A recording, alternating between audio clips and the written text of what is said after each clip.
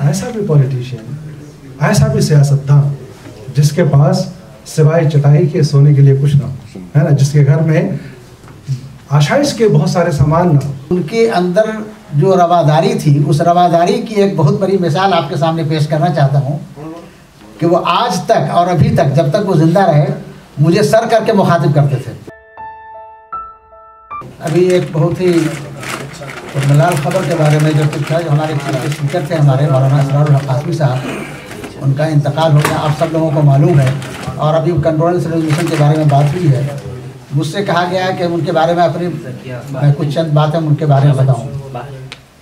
आपको ये जानकर बहुत खुशी होगी कि मेरा ताल्लुक बहुत ही पुराना उनसे रहा है। सबसे पहले वो आकर के यहाँ जमीतुलमा को ज्वाइन किया था। और मेरा ताल्लुक मैं जब आया था 68 में दिल्ली आया था मैं। और आने के बाद से समझिए कि 69 से मेरा ताल्लुक जमीतुलमा हिंद से था तो उनके अंदर जो रवादारी थी, उस रवादारी की एक बहुत बड़ी मिसाल आपके सामने पेश करना चाहता हूँ कि वो आज तक और अभी तक, जब तक वो ज़िंदा रहे, मुझे सर करके मुखातिब करते थे। और वो कहते थे कि, मन्ना साहब, आप तो हमारे सीनियर हैं। ये उनकी रवादारी थी। मौलाना के बारे में आज सारे अखबार जब से उनका इंतकाल हुआ है, हर रोज़ अखबार भरे पड़े हुए हैं। आज भी, आज का भी अखबार उठा करके देखेंगे तो उनके बारे में बहुत सारी बातें हैं कि मौलाना की ऐसी शख्सियत थी कि न सिर्फ़ नेशनल बल्कि इंटरनेशनल अवी सतह पर भी लोग उनको जानते थे। कौमी व मिली मसाइल का जो दर्द उनके अंदर में था, वो एक ऐसा जज्बा था और जिस जज्बे के लिए वो ज़िंदा थे, वो हर कदम पर और हमेशा इसके लिए वो ज़िंदा रहे। आप जानते हैं कि वो अच्छे वो जर्नलिस्ट जो कहते नहीं वो एक कॉलमिस्ट थे और उनका अखबारों में, उर्दू अखबारों में बराबर उनकी आर्टिकल आती रहती थी और वो सारे आर्टिकल्स जो थी, वो कौमी व मिली मसाइल पर वो सारे मबनी होते थे उन पर।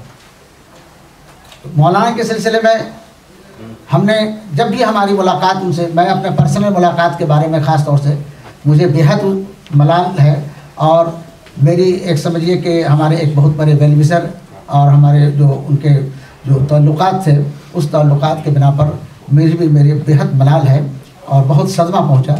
सारा मुल्क उनके बारे में देखिए, इतने सारे कंडोलेंस मीटिंग हो रही हैं उनके बारे में, इतने मदारस में, इतनी जगहों में, और भी कौमी और जो मिली मसाइल के जो इस तरह के जो ऑर्गेनाइजेशन है जिसमें जो लोग लगे हुए हैं, उन सब लोगों ने उनको याद किया है। और याद करते रहेंगे, याद किया जा रहा है और याद करते जा रहे हैं लोग। लिहाजा आज ये मौका था और आज हमारी बदकस्मती है कि आज वो हमारे बीच में यहाँ मौजूद नहीं हैं। सबसे पहले उनकी तकरीर थी आज यहाँ, जैसा कि कार्ड में आप लोगों ने देखा होगा, उनका नाम था। सर फहरिस्त उनका नाम रखा गया था। और आज हम लोग बदकस्मती है हमारी कि आज हम लोग उनकी बातों को सुनने से महरूम रहेंगे।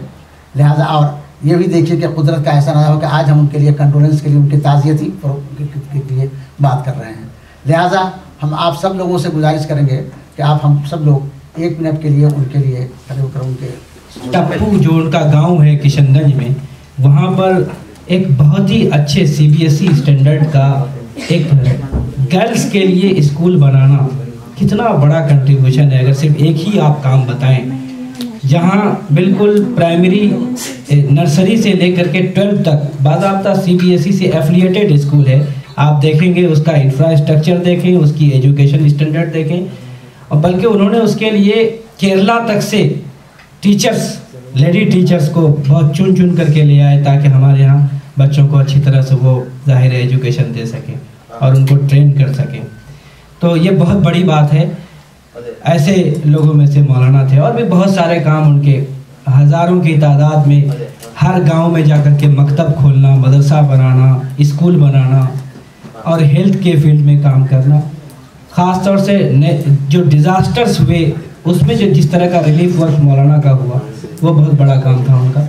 आज इस जलसे में हमारे साथ मौलाना असर कासमी साहब को होना था। ये सोच करके ही दिल पसीजता है, तकलीफ़ होती है कि एक बड़ा नाम जिसने ह्यूमनिटीज़ के लिए, जिसने एजुकेशन के लिए, जिसने पॉलिटिक्स के लिए अपने आप को कुर्बान कर दिया। देखिए, हिंदुस्तान में तरह तरह के पॉलिटिशियंस आपको मिलेंगे, लेकिन ऐसा भी पॉलिटिशियन ऐसा भी सियासतदान जिसके पास सिवाय चटाई के सोने के लिए कुछ ना हो, है ना? जिसके घर में आशाइश के बहुत सारे सामान ना हो, जिसने अपने लिए, अपने बच्चों के लिए बहुत कुछ जमा नहीं किया बल्कि उसने अपने आप को देश के लिए कुर्बान किया एजुकेशन में जितना बड़ा काम किया, ऐसे लोग हमारे लिए मिसाली हैं।